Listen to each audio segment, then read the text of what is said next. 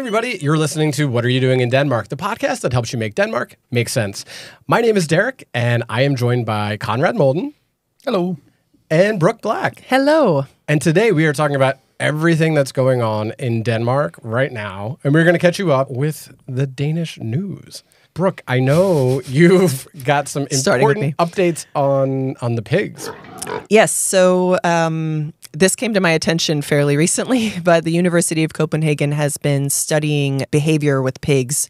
I believe using AI. I don't know how they do that, but they have di- uh, they figured out how to find 19 different sounds to see whether they're happy or not, different scenarios. The latest update is that pigs in captivity or or in conventional farms, I should say. Oh, yeah. are are really stressed out more than uh, pigs in outdoor settings. I believe it's 25% that are in conventional farms are stressed, and 8% in uh, more of like a big like a bigger farm setting.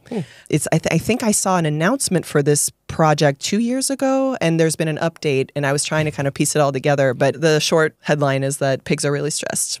And um, yeah, hopefully some of them are happy too, but I'm not surprised. I want to know about that 20% that's actually loving it, Yeah. right? Yeah. Like, majority of them are pissed off, and some of them are just like, I like it. Some of them are trapped babe, babe, just like making friends with a duck and like traversing the farm.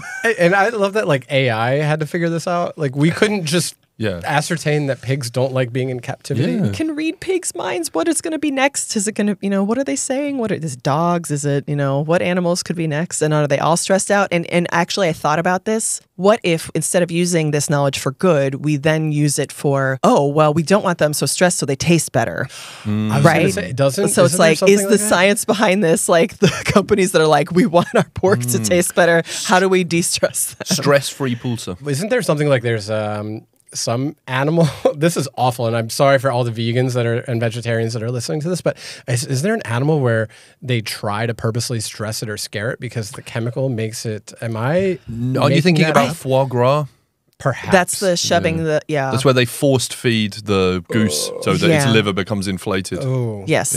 Okay. Yes. That would be stressful. Yeah. Yeah, yeah. That's pretty you, awful. you don't want to do that. No. It's kind of being like an all you can eat buffet and trying to get like your max amount of money worth of it. Oh, my friend orders that. He's like a fancy man, and we go out to dinner, and he orders that all the time, and I always have this guilt about it. And yeah, so I mean, it is fancy. It's What can we do for the pigs? I don't know. and I mean, I think uh, with sh- lamb and sheep, like that's a big thing. Like if they're stressed, and cows too, right? Like it, mm. it affects the taste. Because something like wagyu beef, they like massage the cows, Yeah. and they because they try to mm. get them like as as heavy as possible, I mm. believe, and all of it sounds pretty pretty bad. I'm I'm wondering the situation with the pigs. I used to live near a pig farm uh, in Jylland that was out in the open. It was by the train passed it all the time. They seemed pretty happy. They had a lot of space. I wouldn't know. I wasn't using my AI technology out the like with my little like out the train window, like trying to test like. ChatGPT, are these pigs happy? Yeah, are these pigs happy? But I. You know, for how much pork product there is, um, you know, I feel like you never see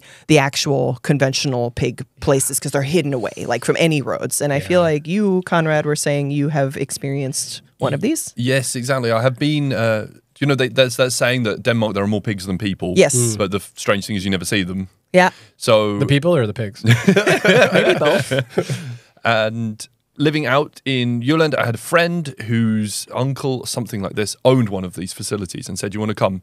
And what was really awkward was there was a real disconnect between what we were witnessing and his explanation. So he was walking around acting like everything was fine, being like, you know, "Ruh, ruh, ruh," you know, it's Yeah. Midtjylland, so flu, flu, flu, flu, Yeah. uh, pigs over here and over here, and it was unbelievably horrible to see. They had very, very small pens where the pig. It's like Tetris. So when one pig moved, the other one had Oh just enough space. Like there was one pig's worth of space in the pen, and in the middle it would just have this huge metal chute, and sporadically that would just spray food all over them. Floors were concrete, stank. I mean. Really, really reeked. Just metal pens all the way around, artificial lighting. You're just, there's no windows. So you're just in this huge facility. And from where they're born to where they are then overfed to where they are killed is all within the same space. And the noise as well. Pigs have this really, ho- it's almost like a human sound Yeah. when they squeal and when they whine, and all you can hear is distress. Oh and it oh was so unpleasant because obviously he he ran this thing, so he was so used to it. So as we're walking around, he's just acting like everything is totally, totally normal. And when we left, I was deeply traumatized. I mean, there was he wanted to continue parts of the tour. I was like, I don't want to see the killing floor. Hmm. I don't want to see any of that. It's horrible enough to see how these poor animals live. It would encourage you to not eat meat, I think. Like when you're Yeah, actually like, you know, seeing it and seeing like how, you know, how it all works. And I have a fear about that. It- It's it almost seems like a, if you know somebody mm. that has a pig farm, then you can go see them. It's not like they're like giving up like tours, like you know. Yeah. Because There's I, a reason they don't, right? and in the grocery store, you see them so happy, like in the videos, you know, right by the pork section. It's like our beautiful pigs from Bornholm or wherever they are, and it just looks like a movie. It does look like Babe. They're just having a great time, and the girls, like my daughters, always wanted to just stop and watch the TV, and I'm like, I'm feeling this is sinister, and I know that you're telling us that it's good and they have a happy life, but hmm. according to AI, Yeah, I'm, I'm surprised we needed AI and that it wasn't a high, like, it, how was it not 100% stressed? Yeah. I would be miserable. yeah, Yeah. that's my that's my news. that was the news that I. Well, a, a- a slightly happier uh, piece of news is kind of cool. So, Copenhagen city government in the, the budget for next year has set aside money, uh, 500,000 kroner, to explore the possibility of hosting the Olympics in Denmark. Wow. Yeah. So um the so the study's basically just to like assess the viability of a bid and see if it's something that would actually make sense. But they've got some sort of cool ideas. Uh, We can't next- get Taylor Swift, but we could get the Olympics. Right, I'm, that, that's something that I'm not gonna lie. I'm a little bit uh, skeptical or worried about. However, you know, some uh, I would say medium-sized global events or even intercontinental, continental, you know, wide events like the Euros were uh, were held here. Right. Denmark has hosted Eurovision, things like that in the past. So it's like there is the capacity to have some more than just national events here, and it's something that at least is going to be considered. So the next two Summer Olympics are set for Los Angeles and then uh, Brisbane. Uh, Really? yeah. Hmm. But potentially, then this could be something that would be to potentially host the 2036 Olympic Games. Wow. Yeah. So some interesting ideas. One would be to have a a smaller and more sustainable Olympics. So Oh, sounds very, very on brand, right? Yeah. Very hyggelig. Hmm. Yeah. Is there only 10 tickets for the Olympics?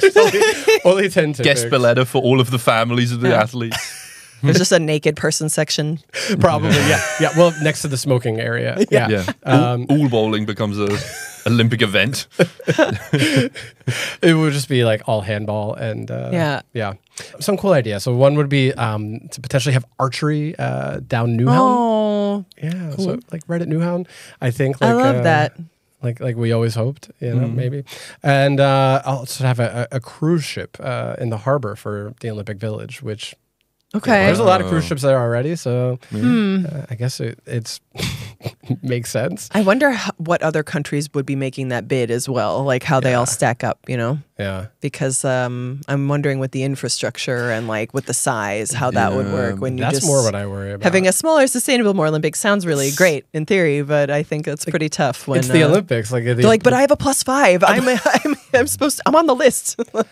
And look, having been, uh, I was uh, super fortunate. Like for our summer holiday, we went to Paris and So saw the. Olympics this year. It, it was amazing. I was living vicariously through you. Oh, it, it it was incredible, and the stuff that they did for that, they they certainly didn't think smaller and sustainable. No. I, feel like every everything was big. The really cool thing was they they took so many elements of Paris, which is already a, a fantastic city, so many landmarks, so much history, and they made it part of the Olympics, part of the games. It was like the mm-hmm. whole city was part of the spectacle. So. I love that for the opening ceremony in the U.S. broadcast, they cut out the blue dude, but everything else stayed. It's like yeah. why why this this is too much for you? This man on a plate with fruit. is There like were some weird, when like, there's like so many other things going on the runway, and like you know, I, I was amazed at the you know the little controversies. Yeah, there probably would be a yeah. So like, oh, we can't be- show this blue guy. We don't know what's going on with this guy. We don't know what it means. I'm sure there would be Did like you see the blue guy? I did, yeah, Yeah. yeah. yeah. I mean, the whole thing was like quite a spectacle and it had such deeper meaning that I had to like really read about online, like to unpack Mm-hmm. afterwards. Cause I was like, oh, this. And like, uh, like, so many people got all the references and I was like, I did not get any of those, but I thought it was really cool to watch. And it's Mm. I because see a lot have, of like- French history and I, I could see them have like a, a little mermaid, but they would have her in like a full like oh my God. Oh, yeah. like wearing a frock with a oh my God, Ah, yeah, what could it be? Like, Like, oh, what we would the opening topless mermaid. ceremony be? Yeah. Like um, a, I just worry that if it was a Danish small sustainable opening ceremony, it would be too hyggelig, right? Like Yeah. Begida would come out with like a tray of hindbærsnitter that she's made, and they hand it, and everyone's got like a paper napkin, and it's raining because they chose a really bad time in July. Yeah. you know, and then everything's extremely hyggelig. It's like uh, no one's checking tickets. yeah. yeah. Oh, People are yes. just- Everyone brought a swamping. madpakke. Yeah, Yeah, They're just like, got I got my, madpakke. my rye bread here and my leverpostej. And Yeah, oh, like that doing would the be Olympic so swimming. Regular people are just overtaking them. You know, just the cycling events. The- the so peop- we're following the cycling. No, that's just Nørrebro at 8 a.m. Yeah. Like that's not They're Olympic just event. going to work.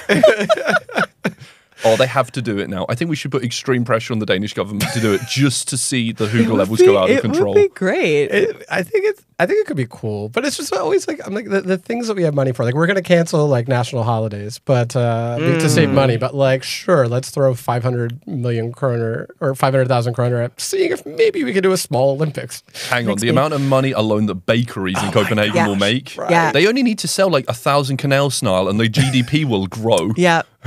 But I get it. I mean, we've got all that Ozempic money now, so we can just That's maybe do the Olympics. But I just I don't know about like Look, Powered by Ozempic. Powered by Ozempic. Everyone's an athlete. Lean and year. mean. Everybody made weight. yeah, I don't know. Well, uh, we'll we'll see how it goes. It's it's, it's a cute idea. no, I think it's great. I think it would be really interesting to use a lot of the kind of like some of these larger than life figures, like the Little Mermaid or like uh, the Ugly Duckling, or these things that are you know. I feel like sometimes people people forget are Danish because Disney took them, you know, or you know. sure. Mm-hmm. yeah, reclaiming Take back some to of its that. roots. Mm-hmm. Yeah, What about move it out of Copenhagen, get it to go to Silkeborg? yeah, we could, Yeah. There's plenty Or of room. it'd be like Horsens. There's It be room. like, Yeah. in the prison. They should seriously actually just move it to Jylland. Yeah. Because there are so many Scandic hotels that are empty out Yeah. there. that's true. Herning, the toast of Herning. yeah. All of Herning is just the Olympic Village. Yeah. You have your own house, there's a garden. They're just waiting. I'm always wondering when they're gonna like give Billund an update Hmm? as a as a town, as a village, with so many people Yes. coming in and out. It's like there's still the one bakery, the one. Uh, Oh, they're like- really trying. I've done shows at the. They have facilities there for the families of the people who work, and it's amazing. They have pools and they have gyms and they have squash courts and restaurants and bars and cafes, and people still commute in. Yeah, They don't want to live in Billund. yeah, hmm. Tiny itty bitty Billund. yeah. They're like, I would still rather live in Herning or Ikast or Aarhus or Silkeborg. Ikast, the next spot for the Olympics. Ikast. I, I think oh. even Lego is build. They're expanding in Copenhagen. I think for that reason, Do you think so? they're building like a Because no one wants to here. Yeah, work in Billund. so. Billund. I was about to say they're building the Olympic Stadium. They're building of out of, Lego. Lego. out of Legos. Oh my god, Not a bad idea. That I- whole opening. Oh my Oh god, that'd be so good. They could do like a Lego movie version of like the opening ceremony. That's one thing they want to do is have a uh, have a removable stadium, and I, that's the first thing I thought of. Was Out it's of Lego. Gotta be made out of Legos because then you can just pile it up and take Yeah, it just give a bit to all the kids. Yeah, take some home. Right? Everybody gets a bit of the Olympic. Lego and Duplo. Lego medals. You know, yeah, it's Mm. a it's a great idea. Is it Lego is plural in Denmark? Because I feel like when I say Legos, I'm the only one saying Legos. I do not add an S. you don't add an S. I don't. It's Singular. just so many Lego is Lego. Lego. Okay. Legos. Lego. Lego. I had to unlearn saying Legos. Yeah. Like, where's my Legos? True. I probably now that I think I feel like you just said it with an S. Yeah, I think I did too. That's the first thing I thought of. Was Out it's Lego. gotta be made out of Legos. You're like, You I, caught I never say I it would with never an S. say I Legos. never do that. I only say Lego. Yeah. Okay. Yeah. Yep, Mm. we're you, learning. You caught me. Yeah. We're learning. Yeah. Yeah. I think that would be great. We've we've nailed it. I think the Olympic Committee should come to us for Yeah. ideas. We, we've we've figured out a lot so far. We've done all the work. Just pay us the five hundred thousand kroner. We've done the work. Mm-hmm. Just move everybody off of Fyn to their nearest family and then turn Fyn into Oh, yeah. everything Olympics. Just turn Odense into a massive stadium. Ever since I started going to these smaller amusement parks in Denmark, like regional ones, people have alerted me to some of the ones on Fyn, and it's literally just jumping off of like a high jump onto a pillow. So like some of the infrastructure is already there. Mm. Exactly. it's just like very like just using your body to like fling it down like a hill, and like that's the amusement I park. mean, I, s- I think we all saw like the highlights of the Olympic breakdancing. So like they're not really taking it that seriously. Oh my god, everyone's going to be that chick for Halloween. You know it. Oh, You yeah. know it. Well, So, like- actually, I'm still under- trying to understand how Danes celebrate Halloween. I feel like um, it's not as big a thing, but everyone loves to plan, so they should be planning for their efterårsferie. But like, I think in our neighborhood, they put up the decorations the day of, which is crazy to me. I'm like, do mm. you love this hol- Oh, kind of holiday like or not? Yeah. Yeah. Exactly. But I get confused because I'm already thinking about it because I'm American, but I think like no one else is ready to like be talking about this yet. They're like, summer just ended. Can we not with the pumpkins? But I feel like then all the promoted posts I'm seeing are like, book your efterårsferie. Oh, I've been drinking pumpkin spice lattes all week. Can, are they yeah. are they here? I started last week when it Does was still Espresso hot. House do one or just Starbucks? Yes, they do. Okay. Yeah. And The Swedes are very American with this. What I've noticed with Halloween, I feel like Danes only go with like the scary horror version, but they haven't quite of like costuming. Not like the cultural but I haven't caught the cultural moment ones. Like Yeah. I think the breakdance woman, Yeah. Mm. I forget her name, but it's Uh, Raygun. Ray Gun. Ray Gun, Right. So like being Raygun for Halloween would be yeah, everybody in the Yeah, US I is gonna think that. that's too. Uh, I don't think Danes have figured out next that like level. you Ah, can I'm- be non-scary and you can be ironic and you can be maybe the not- adults, like the teens. the teens. I don't know. Anna's Hemmingson usually around Halloween has some pretty good ones. They people Mm. take pictures. Like there was one person Okay. who dressed as the "You Have to Return" scat Orzop girls uh, scream. Oh, amazing. And obviously, uh, post COVID, everybody dressed as the coronavirus. Sure. Right. Yeah. Yeah. Or toilet paper. Yeah. Yeah. So I think some people can do it. Yeah. Yeah. Okay, so some have figured it out. I just feel But it's not the yeah. American level where people literally burn their own house to make it into Yeah. a derelict ruin with real ghosts. And Yeah. shit, you know, and ha- people well, and the in giant trees. skeletons from like um, uh, Costco. Like, there's a huge werewolf now that everybody wants in their front yard. They're friggin' huge. and inflatable like They're not inflatable. things. They're Oh. like it's like like movie quality from Costco. Just like you know. We used to have I don't know if I don't think it's still done in the US, but we used to have they they would basically make orange trash bags that had painted on jack o' lanterns. So you just put him over a bush. I was like, I've now looking back, I'm like, my parents just tricked me Just into put raking all the damn leaves Yeah. and filling up these trash bags and called it decorating. Yep. That's really clever. That's how they got me. Yeah, I don't think they do it anymore because now, like, our generation figured it out and we were like, no, I'm not doing it. I'm not. It ends with I forgot me. that it is like a fall leaf bag. Like 'cause Like, cause oh my god. I was that's like, no, you just gave me a rake and told me to decorate. And that was not decorating. That was not fun for me. I want to decorate my house with spooky dolls. So my kids have been. We've been going to all the Genbrug Plus uh, and like finding old. I'm like, can you just smell it to make sure nobody peed on it? Like, Mm. look for bed bugs because they're now they're all like hiding out in the basement right now. All these like dolls that I've we've collected so far, but I want to like really do it up. It's pretty like in a good gross way, and the. That's kids are really creepy. I excited like about it. it. Let's see if I can pull it off. What a but- cool mom. That's really creepy. Thank But you. I think so. I think I I'm like think I the only person that loves Halloween. like, Better than raking. yeah, that's true. That's true. And I, I mean, all the leaves are blowing off the trees right now. It is definitely fall Yes. right now. We skipped right to. There's going to be like another summer week next week, I think. It will, yeah. It's going to go back to being hot again. yeah. I get confused. Yeah, it is a bit confusing. I, I say dress for the weather you want, not for the weather that is happening. I, I'm wearing I shorts and approve of that. t-shirt. Yeah. Yesterday, there was a man in shorts and t-shirt and flip-flops who didn't check the weather forecast, and he had like a six-month-old infant, and it was like holding a newspaper over his like running in the rain. And I'm like, I, I mean, I feel for them. But, Oh, uh, just and he told the baby like, "Oh, there's no bad normal, clothing, yeah. only, oh, no bad weather, only bad clothing." Talking of uh, news around the weather, Yeah. did you know that on uh, the 9th of September, it was the first tropical night in Denmark, which means that you have 24 hours above 20 degrees Celsius on average in the country. what? Was it the first ever or the first this year? Uh, since records began, but they say that they Since records began. But, but they say it's hard to say because Time of the of Christ. technology we have. But since 1947, around 1947, there might have been a similar circumstance. Wow. But back then they used like a thumb and a guess to work out the weather, didn't they? So. But on the day before, on the 8th, it was an average of 21.3 across Denmark. Yeah, so it has been a record breaking summer. in terms of heat or humidity? I know, well, there, the humidity was is the really other hot. factor. That's why it was so tropical because you had 100% humidity and you had above 20 degrees Celsius.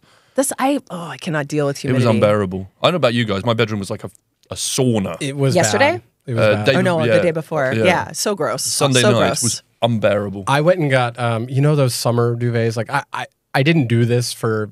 We're not really duvet people as Americans, so I, I didn't really do duvets until getting here. We just do Yeah. What do you do? comforters. yeah, we have we a have top, top sheet, sheets? a top sheet, and a comforter. comforter. What's It's that? very Is that a person that lies in your bed and It's tells you you're a good person? Yeah. it just comforts like a- you. Like- it's the blanket without the sheet covering it. Yeah. A blanket without a sheet on it. Like imagine the duvet, Duvet, but you just without a sheet over and when it. do you? When is this thing clean, or you just The- roll the- the around in your own sheet- feet? The top sheet protects top you sheet from pro- getting the comforter dirty. Okay. Yes. It's very. Oh, that's thing. why. Okay, when I go to hotels in the US and it doesn't make any sense, and I feel like I'm getting inside an onion, where I'm Yes. like, what the hell is?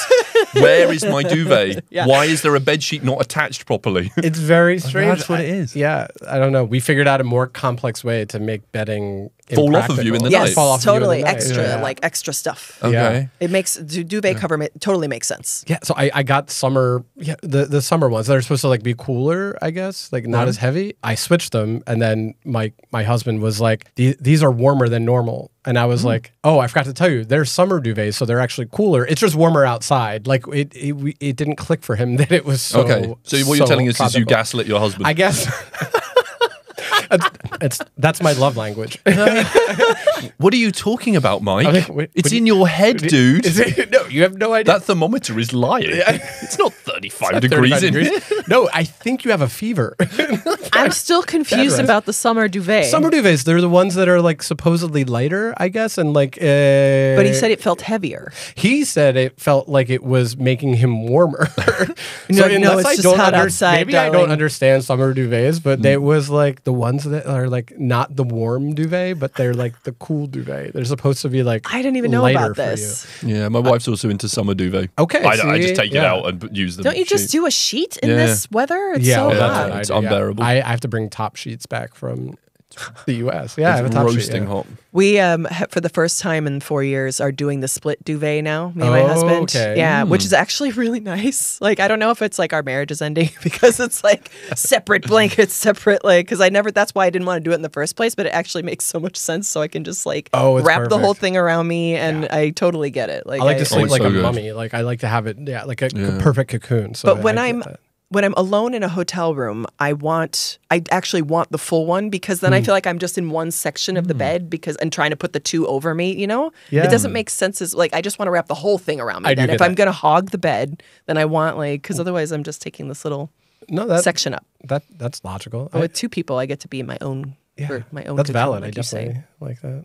Okay, so tropical, you were saying. So it's the most tropical weather that Denmark's had. Yeah. So this is the new Fiji. But- Denmark exactly. is the new Fiji. Exactly.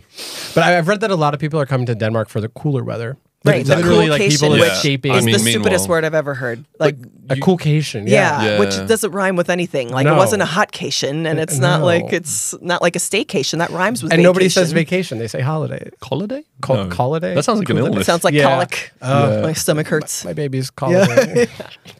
But it was very, very warm, unseasonably warm. Unseasonably. But aren't they? Isn't that everything now? It's like the hottest day on record, the wettest day on record. It's been the wettest year on record. Like the way Danes report the weather is like they find something. But I like what you say about how it's not just small talk. I mean, I know you're It's not the first person to say that, but like it really registered when like you were posting about it like a bit like a few weeks ago, and I was like, it's true that it is like a hot hot topic, a cool topic, a cool topic. And it, it is. It's like a genuine thing. It's like, oh, how is it going to be in the you know in You a little while? know, like, yeah. yeah. I know because Oxfam uh, was reporting on this uh, hot weather in Denmark and was projecting that in 10 years at this time it will be 41 degrees Oh, Yeah. Celsius. oh, that's too much. Yeah. No, Which I would can't do much. it. We were talking, me and Derek, about how our bodies like react to heat, like Mm-hmm. just not in a good way. Like when I lived in LA, it, most of the year it was too hot, and Mm. my body was just like swollen and just like not doing good. I've lost all of the adaptation I had for warm weather from living Yeah, here. isn't that and weird? You then adapt to whatever. It affects me Like, much worse now. My friends in California that visited, the one who brought me the Febreze, was like, "It looks really cold there. Am I going to need like a jacket?" I'm like, "You'll be fine. Like it's not that cold." And it's like they're used to just it being like perfect and warm. Whenever people ask what to pack to come here, what to, I'm like, just bring everything. I And love when there's the probably have to go to random like H&M. Yeah. Facebook like uh, pagan Facebook group. Yes. It's like I'm coming in like next August the 13th. What will the weather be?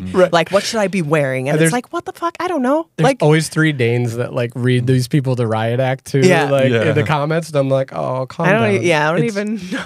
Like I'm like I'm not going to read these nice. comments. it's uh, also feeling a little humid in here as well. Yeah. It is. It's getting We're having hot in our here. own tropical tropical version. so we're gonna we're gonna have to call it, and uh, we hope that you stay cool, whatever the uh, whatever it's like outside when you hear this. Uh, vote for the Olympics and uh, and go check on your pigs. Thanks for listening, everybody.